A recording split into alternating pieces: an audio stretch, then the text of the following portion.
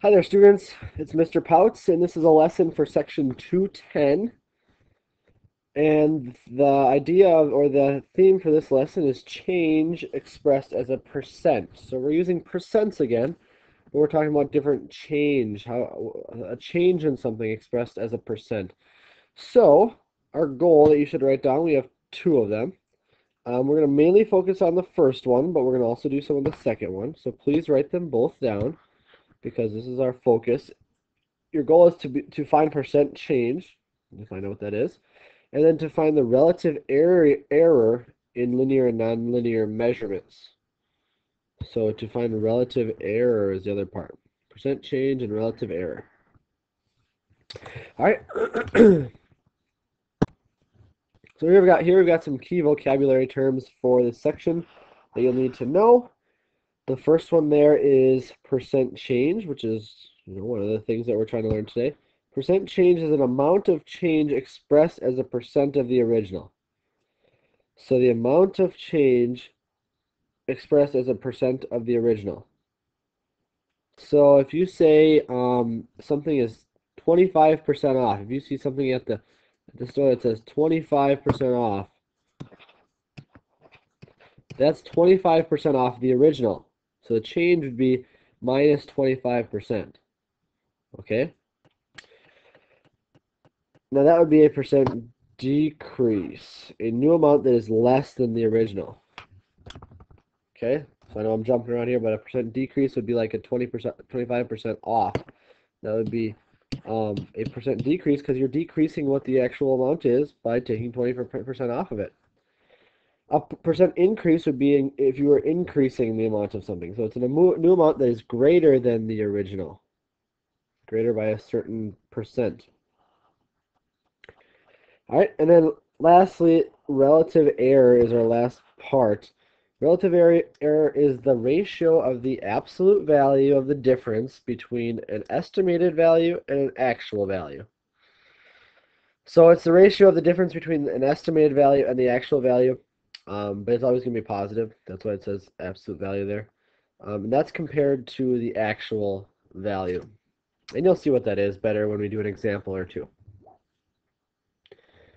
All right, so percent change. This is the first part. The first goal is dealing with percent change. So if we look this through, it says percent change is the ratio of the amount of change to the original amount. so percent change, or P percent, equals the amount of increase or decrease over the original. So if you to find the amount of increase, you subtract from the original to find the or the original from that. To see the amount of decrease, you take the original minus the new amount. So it's how much different it is from the um, original. So here's an example.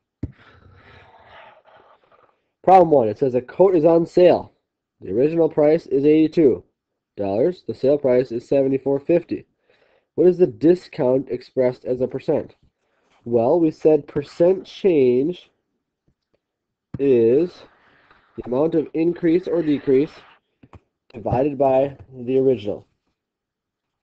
So we'll, put per, uh, percent change equals, so the original is 82 on the bottom, and the amount of increase or decrease, so to figure out the amount of increase or decrease, so that'd just be the, the original minus 74.50. So that'll tell you how much it changed. That is the change there. So 82 minus 7450, I think that's 750 over 82. And then you just check, check on your calculator. Our handy dandy calculator will tell us what 750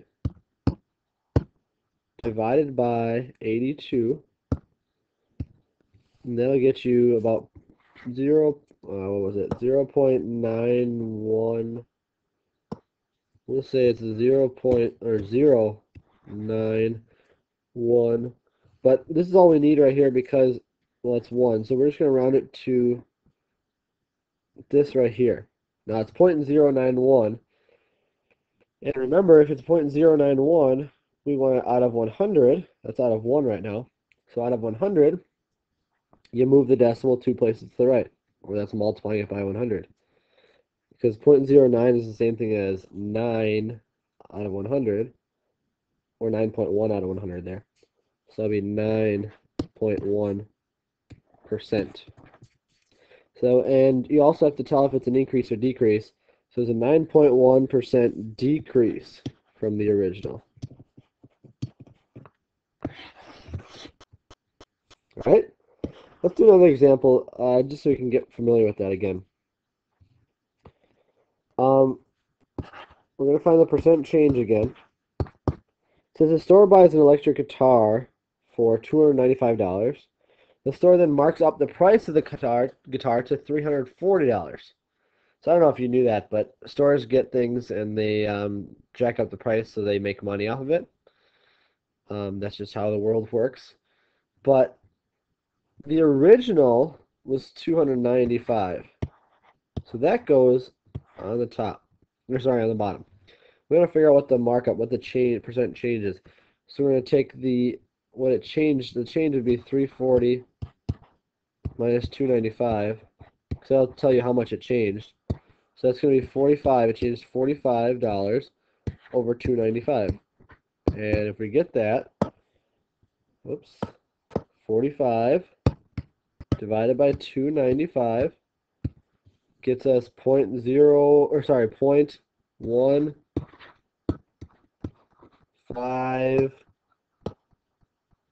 two five well it, we'll run it to point one five three.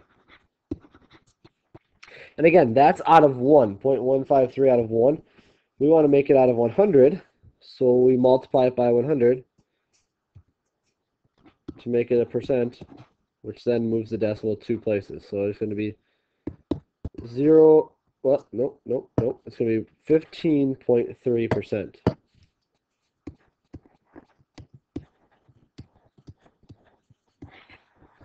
Oh, and is that an increase or a decrease? It says it went up in price, so it's a 15.1% or 0.3% increase in price. So that's how you find the percent increase or decrease. That formula right there, um, very simple to use, um, very easy to use, and you can tell how much something either went up or down in price, or if we're doing a different type of thing, might not always be dealing with price. Um, salamander. Anyway, now we're going to do relative error. And the second goal with, dealt with finding relative error. So let's just read this through before we look at this thing. It says relative area, error, like we said before, is the ratio of the absolute value of the difference of a measured or estimated value and an actual value compared to the actual value. So that's just a long wordy thing. Basically, let's look at this formula. Relative error is the measured or estimated value minus the actual value. So whatever you, usually whatever you estimate, we're, we're finding relative error based on something you estimate and going taking the estimated minus the actual and all dividing it by the actual. So when it's when we put it into a percent, it's also called percent error. So in case you wanted to know that, but we're going to find this relative error as a decimal or as a percent. So it says, I'm giving you multiple choice here, but it says a decorator estimates that a rectangular rectangular rug is five feet by eight feet. The rug is actually four feet by eight feet. What is the percent error in the estimated area? So we estimated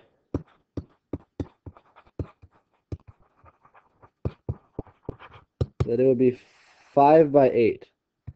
So it's 5 times 8, the area, you do the, length times the width, 5 times 8 would be 40 feet squared. Um, the actual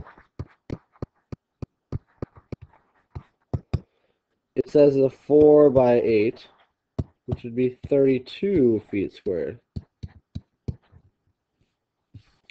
Now, the formula tells us that we're going to do the relative area error is the absolute value, so it's just really going to make it a positive, of the estimated minus the actual. So the estimated was 40. The actual is 32. we're going to divide that by the actual, which is 32. So the absolute value of 40 minus 32, that's going to be the absolute value of, value of 8, which is just 8. Because remember, the absolute value is just how far away from 0 it is. And 8 is 8 numbers away from 0, so it's just a positive 8. Basically, it's always the positive number um, that would go along with it. So 8 divided by 32, um, you can check Oops, I think it's going to be 0.25, but let's check. 8 divided by 32 is 0.25. So hopefully you recognize that to change that to a percent, you you just multiply it by 100. And 0.25 as a percent is 25%. So the error was actually 25%. That means um, the decorator estimated the decorator's estimate was 25% above what the actual one was, what the actual um, area of the of the rug was. All right. Maybe not the best estimation, but could have been worse, certainly. All right, we have one final problem that I'd like to go through. And this one might take a couple steps, but let's just read it through. It says the, the diagram at the right shows the dimensions of a gift box to the nearest inch. What is the greatest possible percent error in calculating the volume of the gift box?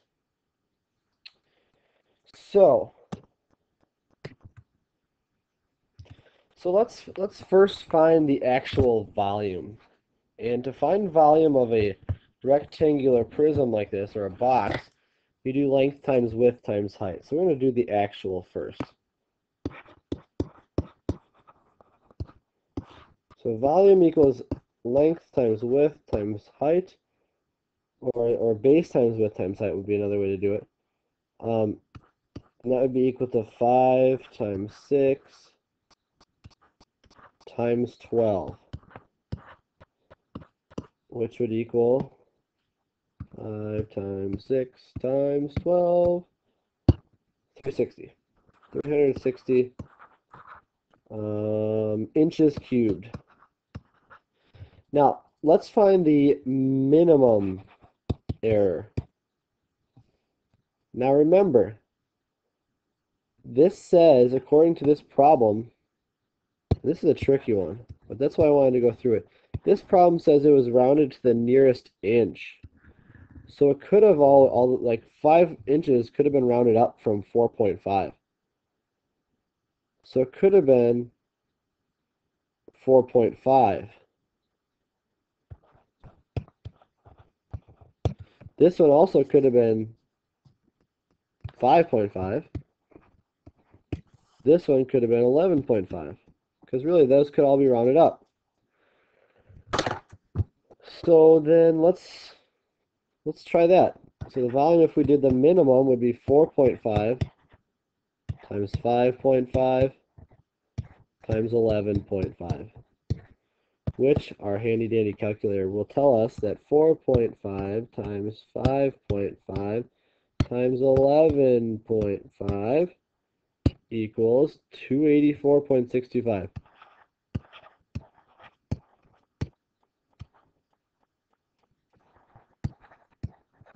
All right, so definitely a lot smaller than what's the actual of 360. Now the same thing could be said about this surrounding the opposite way. So this could have been five and a half, rounded down to five. This could have been six and a half. This could have been twelve and a half. Anything greater than that, it for sure would have been rounded up to, to the higher one. So if we do the max, maybe we do volume is equal to the five and a half times six and a half times 12 and a half, which certainly will get us a bigger number. Um, five and a half times six and a half times 12 and a half. Whoops.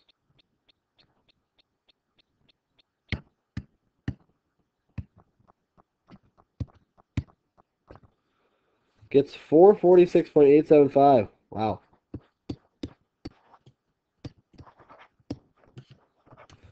Now, even if you didn't get that far, now figuring that out, we can find the percent error, which is right here, or the relative error. We just take the estimated minus the actual all over the actual.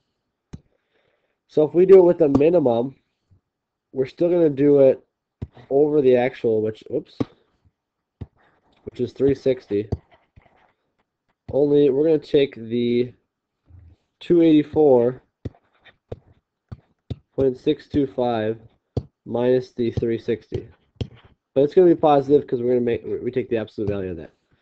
Same thing over here with the max. We do the 446.875 minus the actual, which is 360, all over the actual, which is 360. All right. Now, if I do that, let's see. Really, you're doing 360 minus 4. 360 minus 284.625. The reason why I switched it around is because that'll make it positive. But then I divide that by 360, and it's 0. 209, I think it was. All right.